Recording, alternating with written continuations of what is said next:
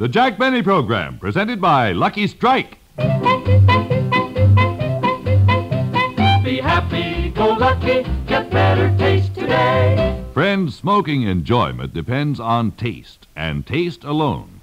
Yes, in a cigarette, it's the taste that makes the difference. And you can taste the difference in a Lucky Strike. So mild, so smooth, so firm and fresh, with better taste in every puff. Yes, Lucky's taste better, and here's why.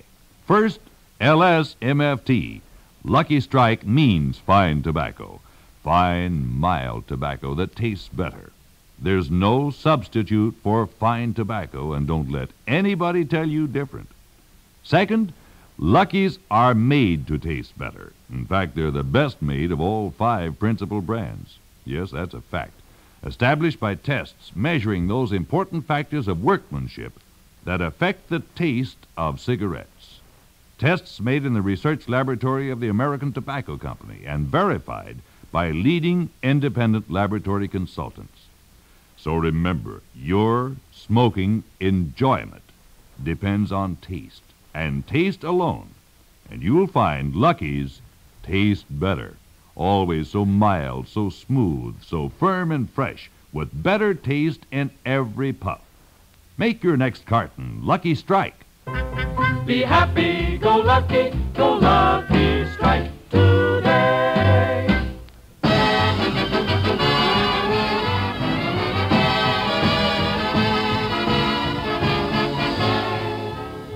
The Lucky Strike program starring Jack Benny with Mary Livingstone, Phil Harris, Rochester, Dennis Day, and yours truly, Mrs. Don Wilson.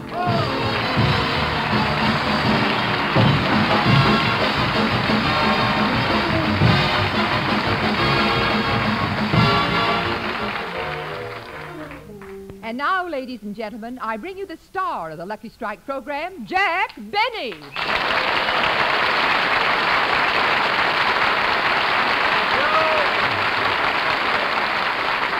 Thank you, thank you, thank you. Hello again. This is Jack Benny talking, and Mrs. Wilson, I must say you read that introduction beautifully. Thank you. Now, if Don were introducing me, he would have tried. Hey, Jackson, what's going on? Why isn't Wilson here? Because last Sunday on my television show, he made one little mistake. Just one little mistake, and he had a nervous breakdown. No. Yes, at the close of my television show, Don was supposed to say, be happy, go lucky. But somehow he got mixed up and said, be lucky, go happy. It was nothing. Well, you say it's nothing because you don't understand the complexities of emotional reactions. Complexities of emotional reactions? And I know what I'm talking about. I once made a mistake. And for months I couldn't look people in the eye. I was shunned, a social outcast. My friends wouldn't talk to me. Phil, for heaven's sake, what did you do? I put a cherry in a martini.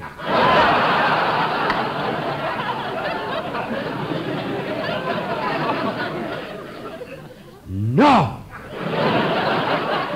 A cherry and a martini. Why, Phil, I, I don't blame your friends for shunning you. Well, I didn't mind that, but they tied me to a post and gave me 20 lashes with a swizzle stick. Phil, go sit down and stop making up jokes. Now, Mrs. Wilson, is Don really so upset about that mistake he made that he couldn't come to work? Oh, yes, Mr. Benny. Last Sunday, when he came home right after the television show, I had to coax him to the dinner table. He just sipped at the consomme and nibbled at the salad, but I knew something was wrong when he didn't eat the T-bone. Don didn't eat the steak? No, the bone. He ate the steak.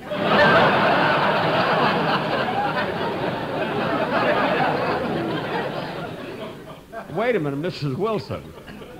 you mean you mean to say when Don eats a steak, he eats the bones too? That's why we had to get rid of our dogs. Such fights. Oh, I can imagine. But, Mrs. Wilson, if Don is as broken up as you say he is, I better call and reassure him that his little mistake was nothing.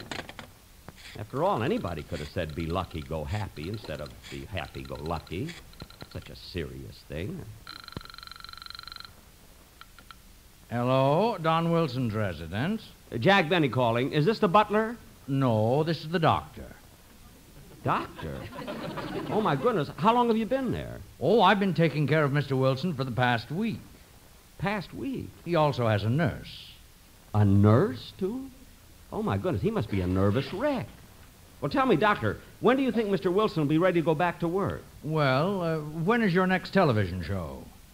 Five weeks from now, March 9th. Oh, good, good. By then, I'm sure he will have calmed down enough to shave. Shave? Yes, in his present condition, I wouldn't dare let him have anything sharp. But this is ridiculous. Just because he made a little mistake and said, be lucky, go happy? Doctor, let me talk to him. I'm afraid he won't talk to anybody. He jumped out of bed this morning and shut himself in the closet. Well, you, you tell him it's Jack Benny calling. Uh, yes, sir. Uh, hold on. Mr. Wilson. Oh, Mr. Wilson. It's be happy, go lucky. Be happy, go lucky. Be happy, go lucky. It isn't be lucky, go happy. It's be happy, go lucky. Be happy, go lucky. So simple. How did I ever mix it up? I never mixed up that other one strawberry, raspberry, cherry, orange, lemon, and lime. Why couldn't I have said, be happy, go lucky, be happy, go lucky, Mr. Wilson. be happy, go lucky? Mr. Benny, Yes, Doctor. What did Mr. Wilson say? be happy, go lucky. Well, at least he's getting it right. Goodbye, Doctor. Goodbye. Did you talk to Don, Mr. Benny? No, Mrs. Wilson, he shut himself up in the closet and the doctor can't get him out. Oh, dear, I hope he isn't stuck again. Again. Yes. The last time he made a mistake, he forced himself into a closet and we had to break down the wall to get him out. The last time he made a mistake? Yes, don't you remember? Two years ago on one of your programs, he was supposed to say, I saw it in Drew Pearson's column. But instead of saying Drew Pearson, he said Dreer Pooson. Oh, yes. Well, don't worry about it, Mrs. Wilson. I'm sure Don will be all right pretty soon. Now, kids, let's get on with the show. Oh, hello, Mr. Benny. Well, Dennis, about time you got here. I hope you have a good excuse for being late. Oh, I have. You see, I was walking down the street and I passed a gas station. And there was a car standing there getting gas. And you had to stop and watch the car getting gasoline? Oh, it wasn't that. There was a dog in the back seat of the car that attracted my attention. A white French poodle. Oh, well, that is a rare species. Yeah. The man told me the dog was worth over $2,000. Gee. And while I was standing there, the attendant happened to accidentally spill some gasoline on the ground. And before the man could stop him, the dog jumped out of the car and lapped up all the gasoline. Gosh. And then he made a crazy dash down the street, and when he got about two blocks away, he suddenly stopped and flopped right over on his side. Dead? No, we ran out of gas.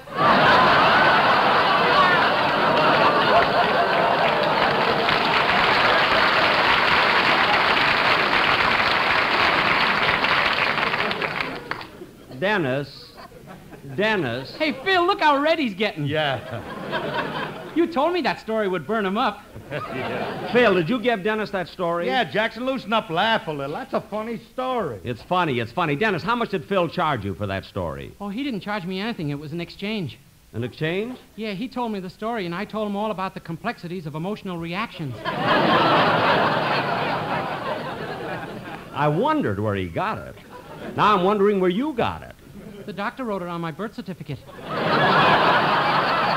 That I can believe. Now look, kid, it's time for your song, so let's have it. Okay. Oh, hold it a minute, kid. Hello? Hello, Mr. Benny. This is Mr. Wilson's doctor. Yes, yes. Uh, We just x-rayed Mr. Wilson and found some broken bones Broken bones? Where? in his stomach. Tell Mrs. Wilson he finished his dinner. Oh, I will, I will. Sing, Dennis.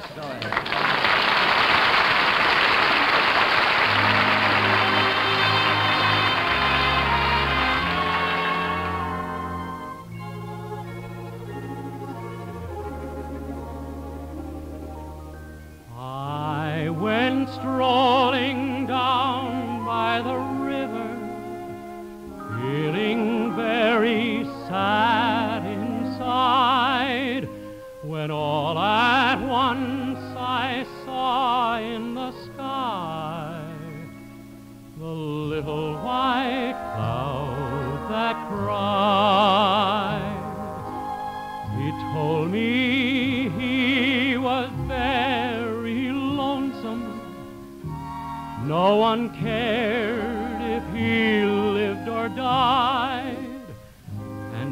sometimes the thunder and lightning make all the little clouds high. He said, Have faith in all kinds of weather, for the sun will always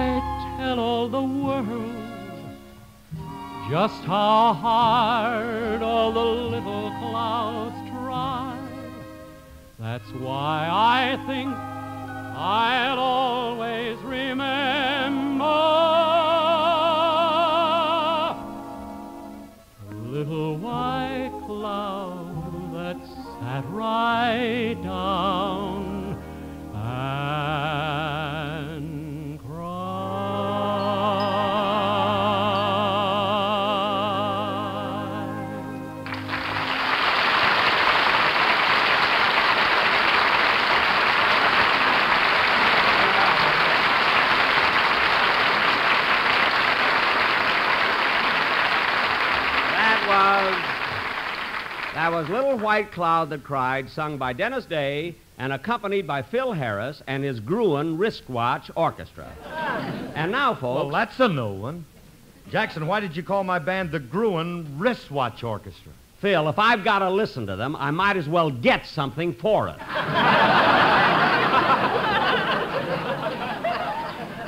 Now, wait a minute, Jackson.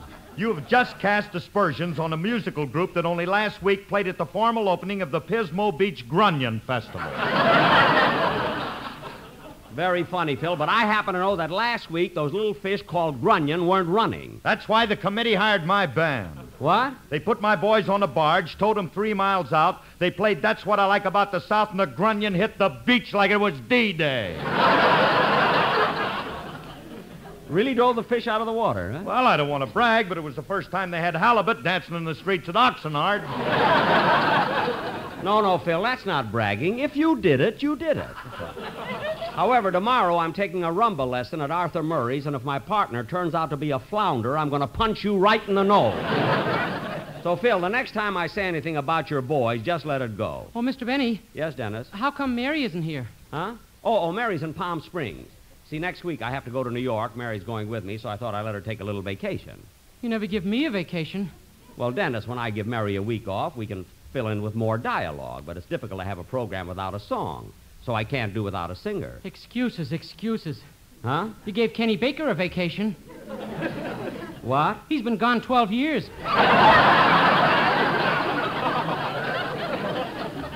Dennis. When's he coming back? I'm getting tired.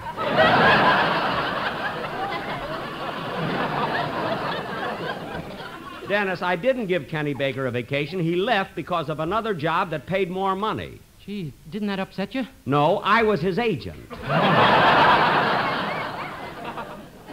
anyway, Dennis, hmm, that must be Don Wilson's doctor with another report. Hello? I have a long distance call from Mr. Jack Benny from Palm Springs. Oh, this is Jack Benny. One moment, please. The Palm Springs Biltmore Hotel. I have Miss Livingstone's party. I'm sorry, but Miss Livingstone went out to play golf about ten minutes ago. Mr. Benny, Miss Livingstone's not in now.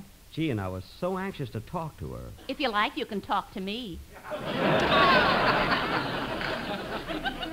To you? Yes, I have a message for you.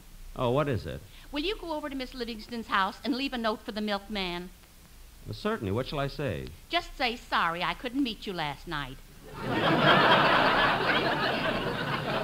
Miss Livingstone wants me to leave that note for the milkman? No, I do. I get to town once in a while, kid.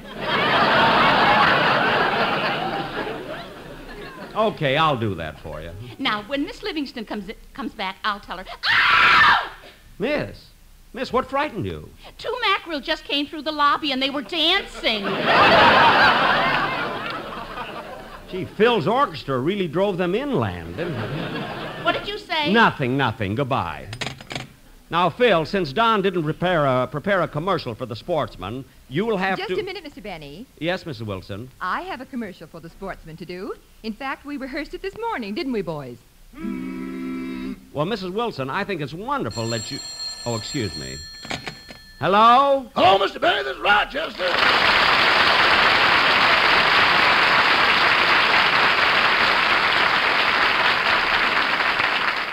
Rochester, what did you call for? I want to ask you, boss, how long will you be in New York? About a week. You want me to run the usual ad in the paper What ad? about renting your house while you're gone? No, Rochester, not for just one week, you know. Boss, you sure are a changed man. What do you mean? You once rented your house when you went to the movies. It was a Jane Russell picture, and I didn't know when I'd get back. Now, Rochester, hang up and get back to your work. Boss, I have been working. I washed the dishes, polished the silver, vacuumed the rugs, waxed the floors, mopped the kitchen, and after I finish listening to your program, I'm going to clean the woodwork and wash the windows. Wait a minute. You're taking time out to listen to my program? What do you mean, time out? That's word two. Oh, well, Rochester, I'll be home right after the show. Goodbye. Goodbye. Oh, say, boss, Now what? Mr. Wolfie Gilbert was here to see you. Wolfie Gilbert, the songwriter? Yeah, I told him you were at the studio, and he's on his way down to see you right now.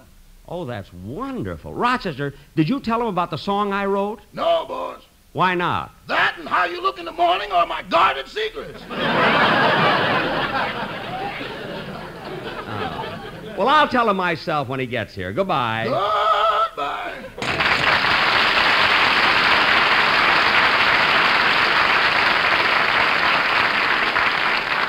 Hey, kids, Wolfie Gilbert, the songwriter's coming over to see me. What a songwriter. You know, he wrote Waiting for the Robert E. Lee, Down Yonder, The Peanut Vendor, Lilac Time, and oh, a great bunch of songs. Gee, I'll be glad to see him. Now, Mrs. Wilson, before he gets here, we better do the commercial. What's the thing you've prepared with the boys? Well, Mr. Benny, since Don is so upset over the mistake he made on your television show, I thought it would be nice if the boys sang something to cheer him up a little. Well, good. Don will probably be listening to it. Take it, boys. Be lucky and go happy, that is what Don Wilson said. Now 40 million people know why he is sick in bed. But don't you worry, Don, boy, you'll still collect your pay. If in the future you make sure that this is what you say. Be happy, go lucky, be happy, get better taste, be happy, go lucky, go lucky, strike today. Get out of bed and take a walk, the air will do you good. Don't try to hide to save your pride, your fluff was understood.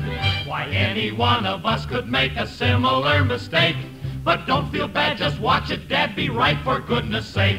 Be happy, go lucky, be happy, get better tasty, happy, go lucky, go lucky, strike today. Be happy and go lucky is a slogan you know well. So say it right on Sunday night or I will get Von Zell. Be happy, go lucky, be happy, get better taste, be happy, go lucky, go lucky, strike today.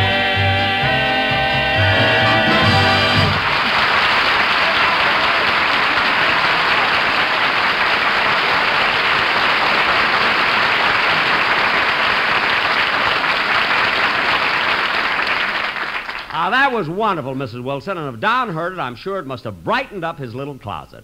Now, kids, as soon as we. Hey, hey, that must be Wolfie Gilbert now.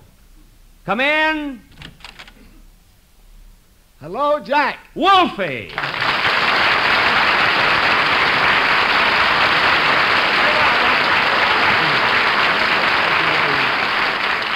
It certainly is a pleasure to see you. Well, I stopped over at your house, and Rochester sent me to the studio. Yes, I know, I know. And, Jack, I wish you'd tell Mary I'm sorry that I only had a dime.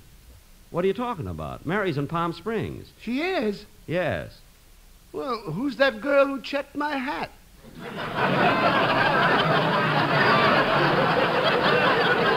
Oh, that's Barbara Stanwyck.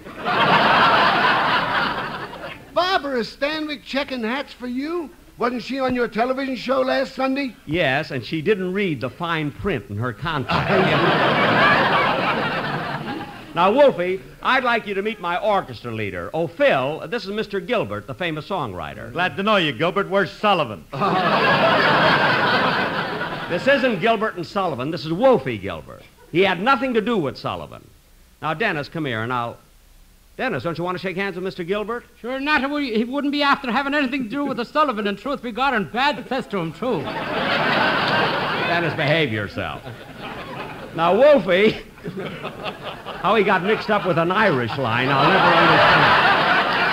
A straight line, yes, but an Irish line, this I will never figure out. now, Wolfie, was there something, was there something special, something special you wanted to see me about? Oh, that yes, Jack. Yes, Jack. I really had a trip to make over here. I wanted to talk to you about the song you wrote. Uh huh. You know, I heard that you've been having a little bad luck. I mean, about publishing. Well, trouble with it. Yeah, well, yes, and frankly, I can't understand it, Wolfie. I wrote my song three months ago, and it still isn't on the hit parade. I haven't even been able to get it published. Well, Jack, believe me, it's nothing to worry about. You mustn't become discouraged.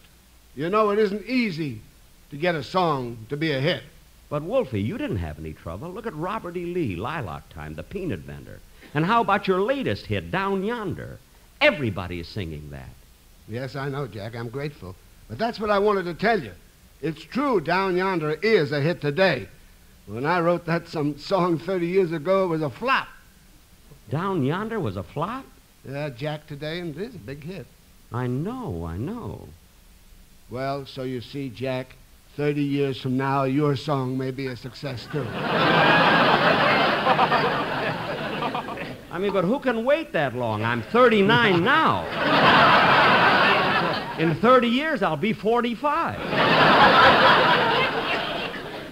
By the way, how old are you? 65. And they call you Wolfie? Quiet, Phil. By the way, why do they why do they call you Wolfie? Well, I didn't spend all my time waiting for the Robert E. Lee.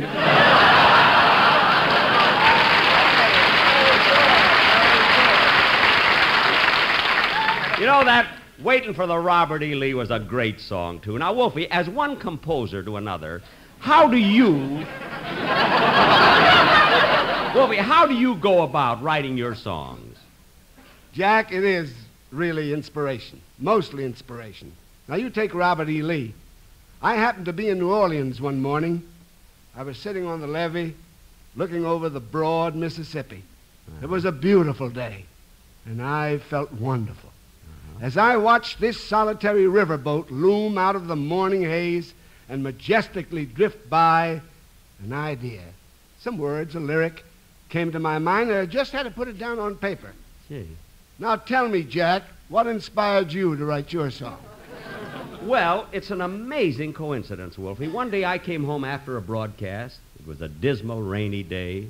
I had a headache. My stomach was upset. My feet hurt. And as I walked into the house, I tripped and broke my glasses and split my lip. then I sat down and wrote, When you say I beg your pardon, then I'll come back to you. And yet, from the lyrics and music of my song, you'd never guess how much I was suffering, would you? Well, who's got enough money in the bank to answer that one?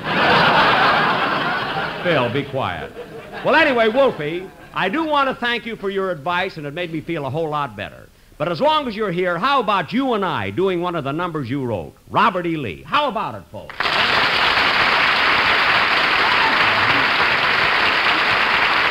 Now, Wolfie, Wolfie, I'll get my violin, and you start the verse, and we'll each take a part of it, the quartet too. Wait till I get my violin. Okay, boys, let's have it.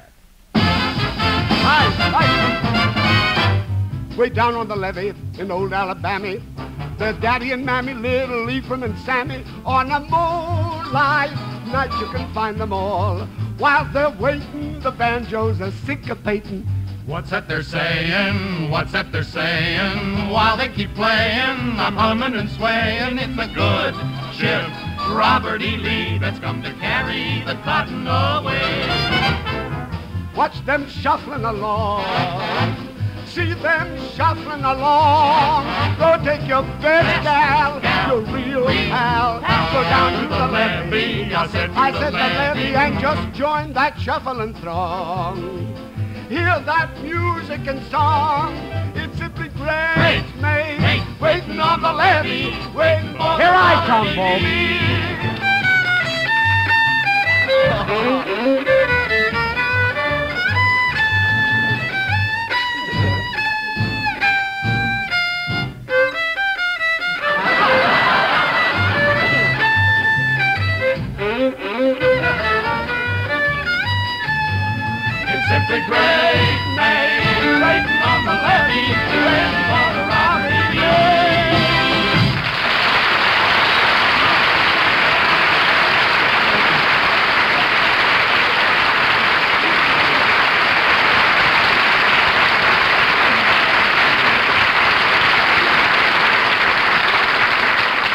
thank you, thank you, Wolfie. Thank you very much. You're an inspiration to young songwriters.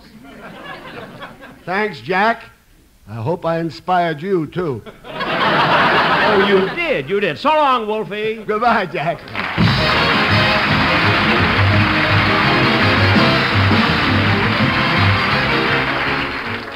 Ladies and gentlemen, your armed forces are short of 300,000 pints of blood a month, a shortage that may cost us thousands of American lives. We know you are going to give blood. We ask that you give it now. Call your Red Cross today. This is an urgent request. Remember, a gift of blood is a gift from the heart. Thank you. Mr. Benny will be back in just a moment. But first, Be happy, go lucky, get better taste today. Friends, whenever you want the smooth, mellow, completely enjoyable taste of truly fine tobacco, reach for a Lucky. For the difference between just smoking and really enjoying your smoke is the taste of a cigarette. And Lucky's taste better for two important reasons. First, LSMFT. Lucky Strike means fine tobacco. Fine, mild tobacco that tastes better.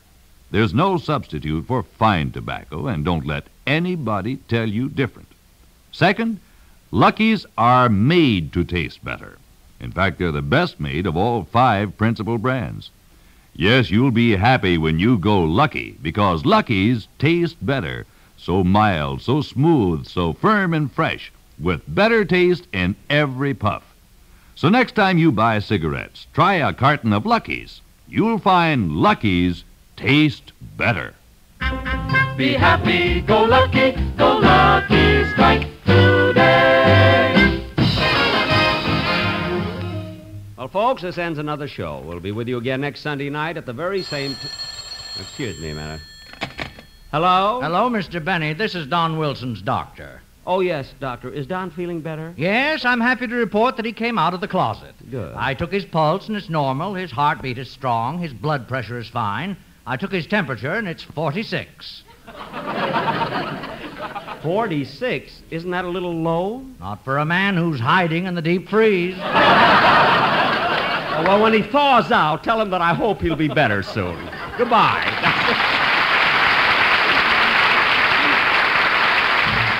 the Jack Benny program is brought to you by Lucky Strike, product of the American Tobacco Company, America's leading manufacturer of cigarettes. This is Mrs. Don Wilson reminding you to listen to your hit parade with Guy Lombardo every Thursday night, presented by Lucky Strike. Consult your newspaper for time and station. Jack program has been selected as one of the programs to be heard by our armed forces overseas through the facilities of the Armed Forces Radio Service. Stay tuned for the Amos 'n' Andy Show, which follows immediately. This is the CBS Radio Network.